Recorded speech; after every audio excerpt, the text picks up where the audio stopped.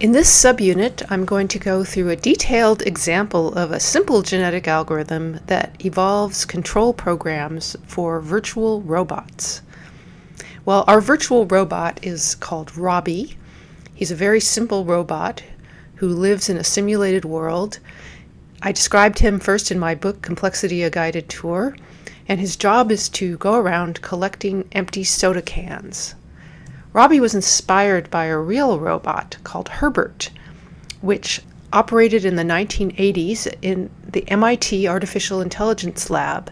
It went around the lab on its wheels, going into the different offices and collecting empty soda cans and taking them to the recycle bin.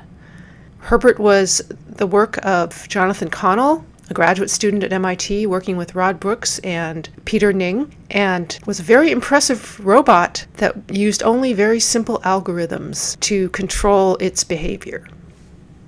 Our version of Herbert is called Robby, and he's a virtual robot who lives in this simulated world consists of a 10 by 10 grid of squares. You can think of the squares as sort of virtual offices, and each office is either empty or it contains an empty soda can. So here's an example of a soda can. And Robby's job is to move around this world collecting the empty soda cans. So we have to give Robby a program that tells him what to do at each step.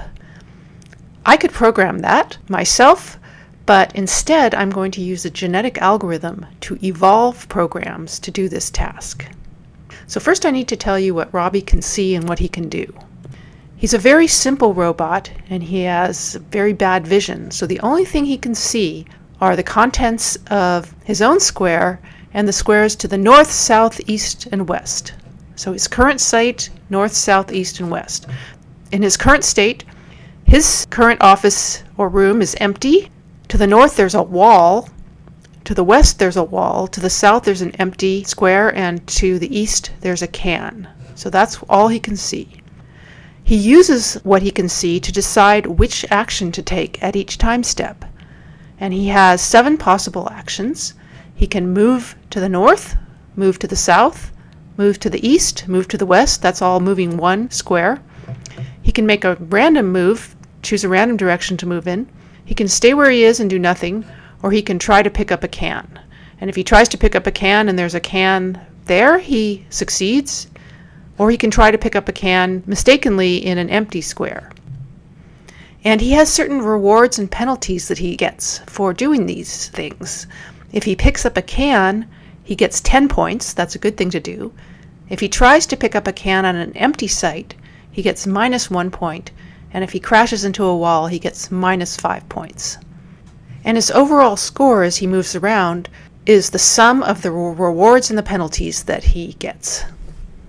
The goal is to use a genetic algorithm to evolve a control program that is a strategy for Robby. So let me talk about what a strategy is. The definition I'm going to use is a set of rules that specifies an action for every possible situation, where possible situations are the inputs to Robby, the possible inputs that he could see. So let's make a list of possible situations that Robby could find himself in. The possible situations would be what he sees to the north, south, east, west, his current site.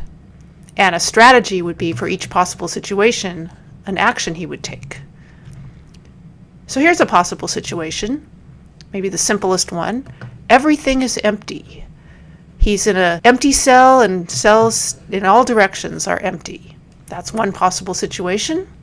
Here's another possible situation.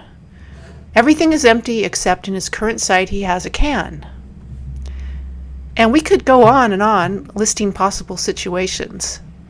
And in a second, we'll figure out how many possible situations there are.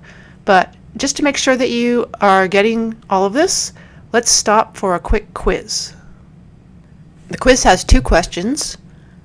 The first says, look at this situation and suppose that Robby has a score of zero so far, and he takes some actions move east, move east, pick up can, move east, pick up can, move south. So he takes those six actions, And you have to answer what his situation is after those six actions and what his score is. And here's uh, to remind you what the scoring process is.